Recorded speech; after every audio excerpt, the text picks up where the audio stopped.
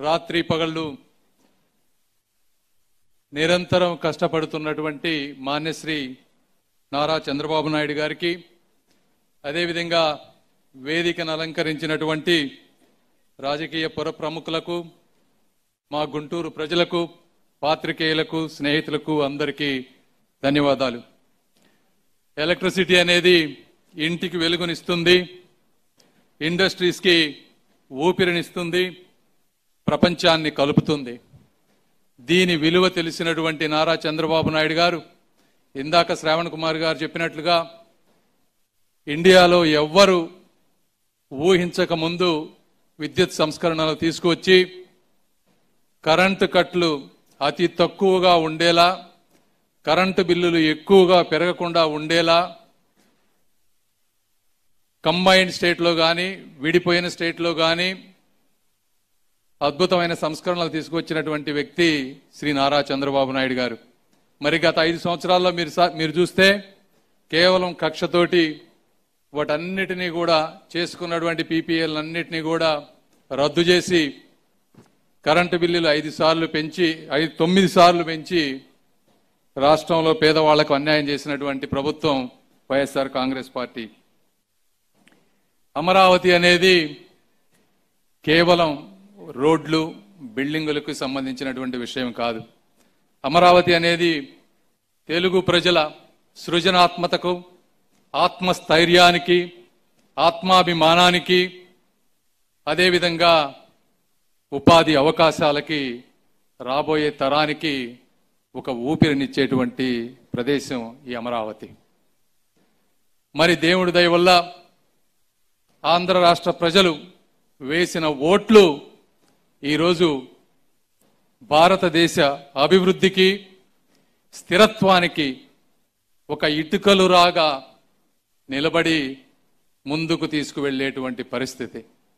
కాబట్టి ఒక్కసారి తప్పు జరిగినా మొన్నటి జరిగిన ఎలక్షన్లో అందరూ ఈ విధంగా అఖండ విజయాన్ని తీసుకురావటం వల్ల మరి మేము అక్కడ మంత్రులుగా ఉండటం వల్ల చంద్రబాబు నాయుడు గారికి ఢిల్లీలో ఉండే బ్రాండ్ ఇమేజ్ వల్ల ఈ రోజున చరిత్రలో లేని విధంగా ఒక రాష్ట్రానికి ఇన్ని నిధులు వస్తూ ఉన్నాయి. పదిహేను వేల కోట్ల రూపాయల అమరావతి కన్స్ట్రక్షన్కి చాలామంది ఇది అప్పు అంటారు కానీ ఇది గ్రాంట్. ఎందుకంటే మీరు వరల్డ్ బ్యాంక్లో చూసుకుంటే దాని గ్యారంటీరు సెంట్రల్ గవర్నమెంట్ స్టేట్ గవర్నమెంట్ కాదు.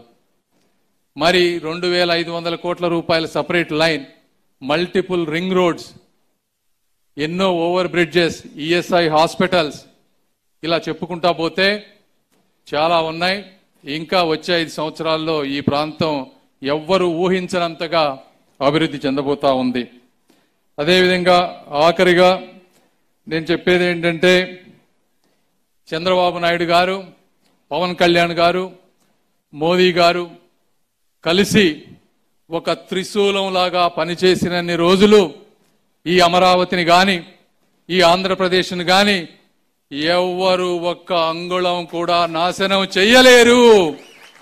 ఇది అందరూ గుర్తుపెట్టుకోవాలి. అదేవిధంగా ఆఖరిగా ఈ మహానగరం నిర్మితం అవుతున్నప్పుడు కొంతమందికి ఇబ్బంది జరిగినా వారు ఈ అభివృద్ధిలో పాలు పంచుకోలేకపోయినా వారందరినీ కూడా కలుపుకొని వెళ్ళాల్సిన అవసరం ఈ ప్రాంత ప్రజలపై ఉంది. ఆర్థిక అసమానతలు పేదవారిలో ఇబ్బందులు కలుగజేస్తాయి. డబ్బు వచ్చినప్పుడు ఎందుకంటే విలువలు పెరుగుతాయి డబ్బులు వస్తాయి. డబ్బులు వచ్చినప్పుడు మనం నడుచుకునే నడక మనం మాట్లాడే భాష పేదవారికి ఇబ్బంది కలుగజేస్తుంది. కాబట్టి అటువంటి పరిస్థితులు రాకుండా మళ్ళీ ఈ చుట్టుపక్కల ప్రాంతంలో వైఎస్ఆర్ కాంగ్రెస్ పార్టీకి కానీ లేకపోతే ఇంకే పార్టీకి కూడా ఒక్క ఓటు కూడా రాకుండా చేసే బాధ్యత ప్రతి ఒక్కరూ తీసుకోవాలని తీసుకుంటే ఈ ప్రపంచంలో అత్యంత గర్వించదగ్గలిగినటువంటి మహానగరాన్ని నిర్మించగలిగినటువంటి శక్తి ఉన్న చంద్రబాబు నాయుడు గారు దాన్ని ముందుకు తీసుకువెళ్తారని దాంట్లో నాకు సాధ్యమైనంత వరకు నేను కృషి చేస్తానని తెలియజేసుకుంటూ ఈ అవకాశాన్ని ఇచ్చిన ప్రతి ఒక్కరికి కూడా మనస్ఫూర్తి ధన్యవాదాలు తెలుపుకుంటా ఉన్నాను. Thank you